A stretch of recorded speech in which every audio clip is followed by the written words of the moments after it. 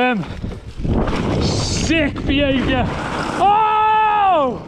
Hitting the left line. Bit of an E-drop there. Whoa! Oh my days. Welcome to a very action-packed video. Today we are starting the video with a session on the hardtail Santa Cruz Chameleon. We have an umbrella, check it. And it is broken with the UK weather conditions. But today's pretty bad, but we're gonna jump this and we're gonna give it the full waterproof test today. Still feels nice and grippy, so I'm feeling confident. We are then gonna move on to put on a brand new set of wheels on my new 26 inch downhill bike. Today is the day when we move forward with the build.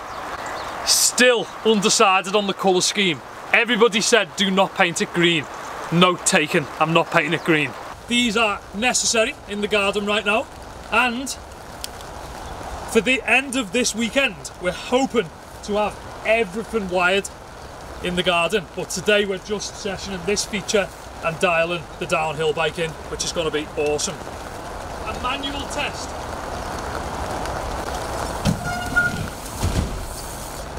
Ah!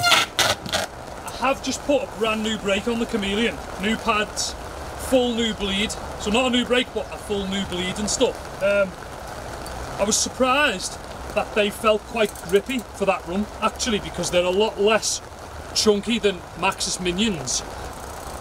Take two!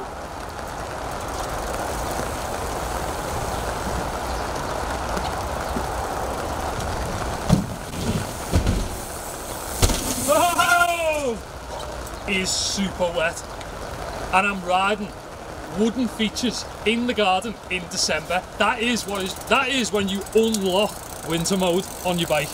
Right there. Take three! Let's go! Let's... I'm gonna ask you to get involved mid-video. You know what I'm like. I am always in the comments as a YouTuber. As soon as I live the video, I answer as many comments as I can. Basically, today I need some more input. So, thanks to yous, I've found loads of mesh. Thanks to yous, I've found a better staple gun. Okay? So, the next challenge is, I'm thinking for the next mod of doing a corkscrew roller. Like, like it's a bit like a North Shore, but a corkscrew one off the side of the rolling. Do you think it's a good idea to have another jump line heading this way? that you can interlink in and out of and hit different features and cross lines? Or should I keep it all one way? That's what I need to know in the comments below today. I have another question. What colour, if not green? Quite a lot of members, subscribers and mountain bike riders were letting me know that it was a terrible idea to do it green. Okay, I have listened. Check out the bike. Now I need to know what colour. We are spraying it mid next week.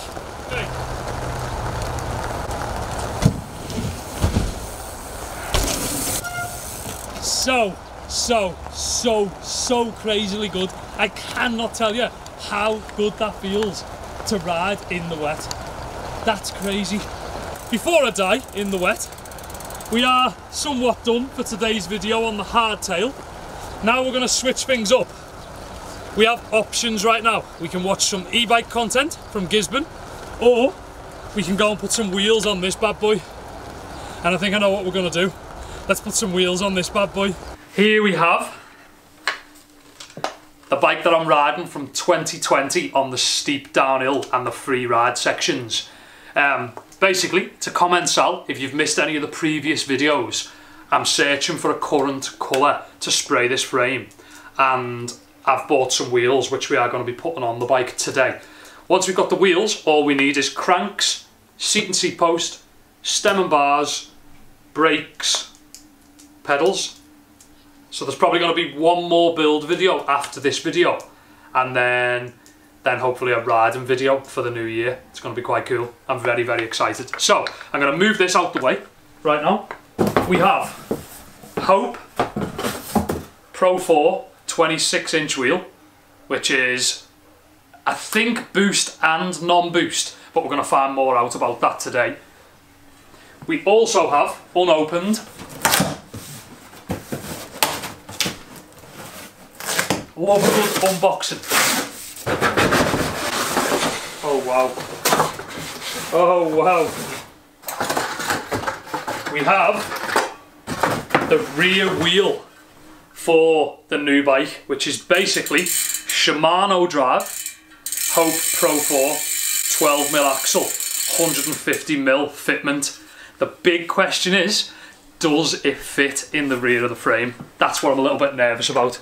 So, there you go. As you can see, 26 inch. Sounds really cool. Hope Pro 4 Shimano rear wheel. These are both Fortus 30, which is going to be quite good for some other accessories that we have for the bike. So, for now, let's whip the rear wheel out of the frame. Been thinking maybe a lilac spray colour. I've been thinking zebra. That's that's something else we've been considering. I've also been considering like khaki green and sand as two different options. I did change my mind on tan wall tyres and I've decided inner tubes. I've decided to run just black tyres. I've stuck to Minion DHF and DHR, which is rear and front. Um, Benji's are drinking. Please excuse the noise. Basically, these are super tacky. So, one thing I'm not the best at is downhill stuff, which is why I'm building a downhill bike to get back into with smaller wheels. Hopefully I'm more comfortable. So I'm building super tacky downhill casing and 2.4 on the rear and a 2.5 on the front in super tacky, which is going to be awesome. They feel super tacky, would you believe? We've done both wheels. We have DHF up front, DHR on the rear with Shimano. I have a question right now to everybody watching the channel. I want to make this bike single speed with a, a hanger, a single speed cog and some adapters. Now on the Chameleon I've got a single speed rear hub but it is actually a Hope Pro 4 single speed hub. Anybody who's watching, do you know whether I can run single speed on Shimano rear cassette?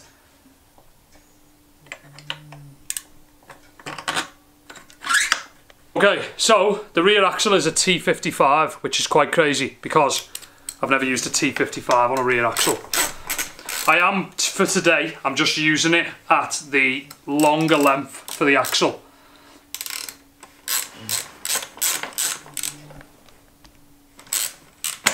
There we go. Love that noise when something just works. Basically, I'm running it in the long back end setting right now because I need to rearrange this drop out, but we're going to be spraying the bike anyway, so it's probably not really worth messing with that too much right now. I'm just going to kind of puff the bike together. See how it feels. Not feels, but looks. Might do a little standover with no handlebars as well.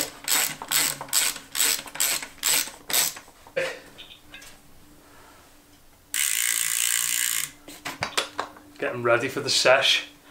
Okay, now we need to do the front wheel, which is going to be interesting because we haven't actually measured this thing up for boost or non-boost. I actually have a question. Does anybody know where I can get a brake 6 bolt disc brake spacer? Because I'm going to need one because the hub is, I think, non-boost with boost spacers. Could be wrong. Help me out if you know what I'm talking about. If you don't know what I'm talking about, enjoy the front wheel installation. That's all you need to think about. That we are installing the front wheel right now. Hey, look at that. That's sick. It's actually a small downhill bike. This is crazy. No brakes, no cranks. But I would like to be quite confident in saying that we are well on our way. Wow. Looks quite small. It's going to ride really well. Wow. That is going to feel like a jump bike. Trying to visualise how this is going to feel. Nice weight. Somewhere between my Nomad and my e-bike I'm guessing. Super tacky tyres. single speed with a hanger, cranks next, bars, stem, seat and seat post, and we are good to go. So, thanks for watching today's bike build clips. Enjoy some clips from Gisburn on the E-Machine a couple of days ago. Hitting the left line, bit of an E-drop there. Whoa! Oh my days, it's super icy, foggy, snowy. So we are just doing a bit of a crawl alarm right now. Just to check it out. Like I'm literally riding through ice. But, oh, that was actual ice. That's sketchy. Okay. Oh my God. Look at that. That is, I shouldn't going down. There's actual ice on that. Okay, this doesn't look much more promising, but at least I'm giving it a go. Out, having a ride. Whoa, it's sloppy. Sloppy. Oh!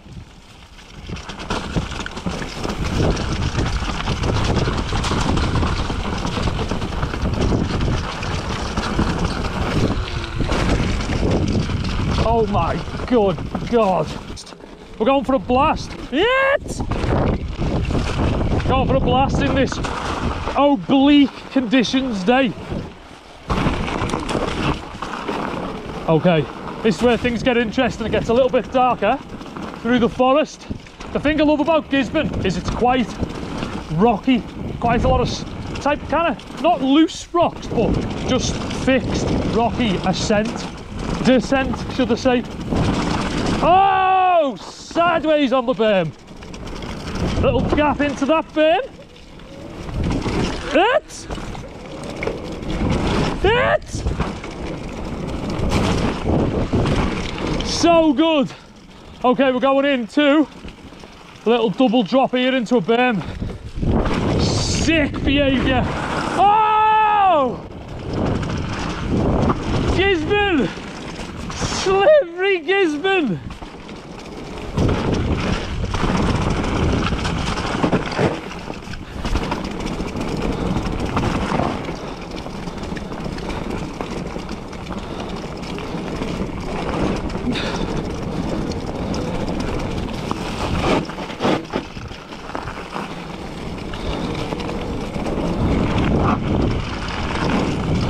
So, so good. Any e-bike riders watching right now? Let's have a chat about e-machines in the comments below. What bike have you got? How often do you get out and session it? Starting to consider a dropper post. Got a cable dropper for the e-machine. Any suggestions? Look at the tree gap. What? Any suggestions? Would be fantastic. Check back in on Sunday for a bike park build video in the back garden at Mainland and make sure you smash the like button, turn your notifications button on and subscribe to the channel if you're not. Thanks for watching, peace out.